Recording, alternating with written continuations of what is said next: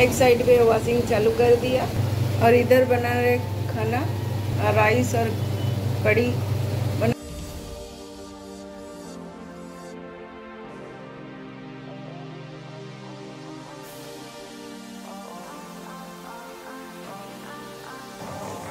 पकौड़ा कड़ी बना दिया और चावल। कड़ी चावल तो बहुत फ़ेमस है तो ये बनाया आज। तो चलो ऑलमोस्ट हो गया। दूसरे काम कर लेते हैं। आज बनाया पकौड़ा कड़ी और चावल। तो अभी हम लोग खाना खा रही हूँ, कड़ी चावल। और सबको, बहुत ही गर्म है ना दोनों। तो सबको रेडी करके दो माप के ये करके। तभी खाएँगे बच्चा लोग। आज है सन तो इसके लिए छुट्टी है दोनों को। तो आराम आराम से सारे काम किया। अभी फ्रेश से फ्रेश होकर आया और मम्मा। क्या?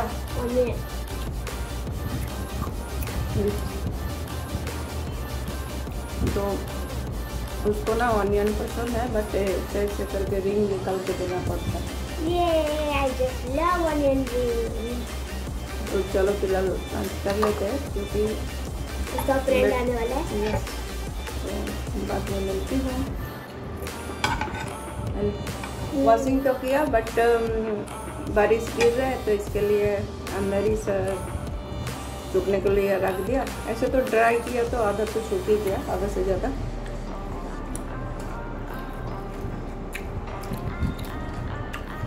कड़ी के साथ आज ट्विस्ट दिया पकौड़ा बना के, बहुत ही अच्छा लगता है ना?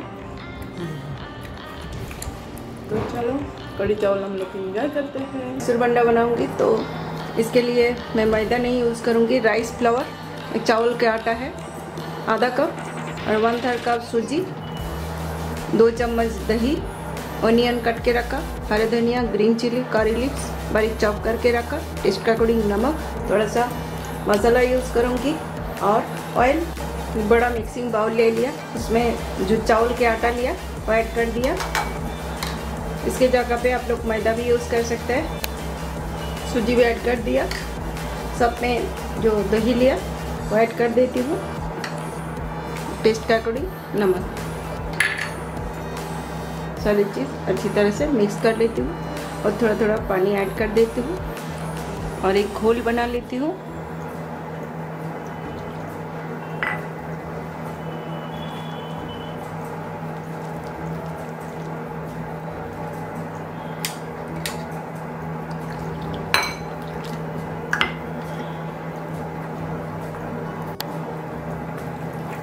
देख ही सकते हैं। ऐसे गाढ़ा बेटर तैयार किया तो और थोड़ा सा पानी ऐड कर देती हूँ, क्योंकि वेजिटेबल भी मिक्स होगा तो और गाढ़ा हो जाएगा।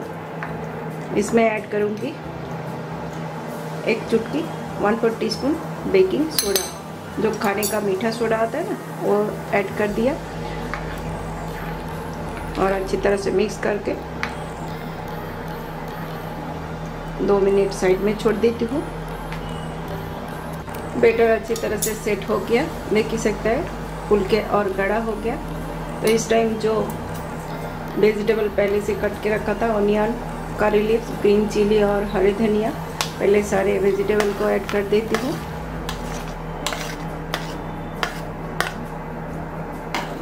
सब में ऐड करूँगी। रेड चिली पाउडर जीरा और अच्छी तरह से मिक्स कर लूँगी। अच्छी तरह से मिक्स करके हो गया। चलते हैं फ्राइंग के लिए। पहले से ही ऑयल गर्म होने के लिए रख दिया। ऑयल गर्म हो गया। हम जो बेटर बनाया।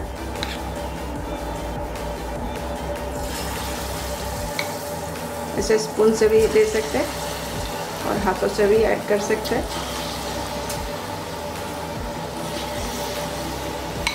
सारे बंडा को ऐसे थोड़ा थोड़ा करके जितना आए एक बार ऑयल में, उतना ही ऐड करने का।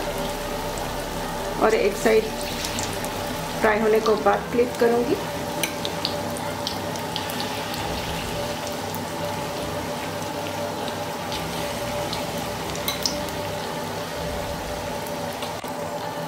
बंडा अच्छे से फूल गया और बहुत ही अच्छी तरह से फ्राई हो गया एक साइड फ्लिप कर लेती हूँ। दूसरी तरफ़ भी अच्छी तरह से फ्राई कर लेती हूँ।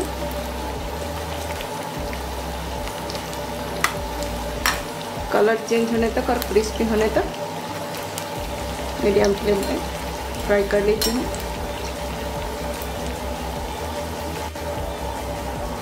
दोनों साइड अच्छी तरह से फ्राई हो गया। कलर भी चेंज हो गया।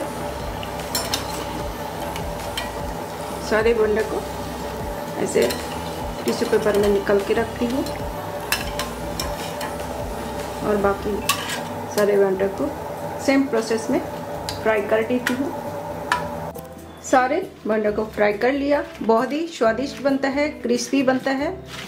एक तोड़ के भी दिखाती हूँ। कितना क्रिस्पी बना और अंदर बहुत ही सॉफ्ट है। तो अभी प्लेटिंग कर लेती हूँ। बंडा को आज बनाया टमाटो आलू पोस्तो डाल राइस सैलड। कैसे लग रहा है रे? हम्म। तेरा क्या हो गया? मोबाइल नहीं देखने पे लगा तो मुँह देखो कैसे हो गया।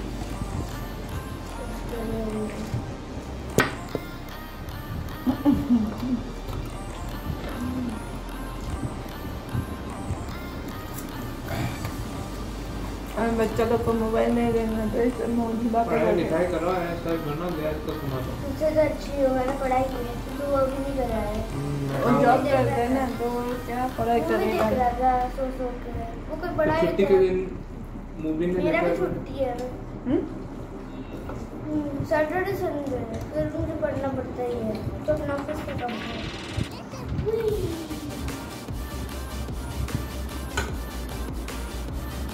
आज तो बारिश ज़्यादा नहीं था कल तो बहुत बारिश था उसमें बहुत सारा जगह पे घूम के आया और आज तो नहीं दिया।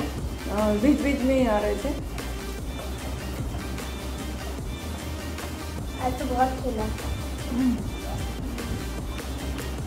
आइए वीडियो पसंद आए पसंद आए तो लाइक कीजिए मेरे यहाँ को सब्सक्राइब कीजिए।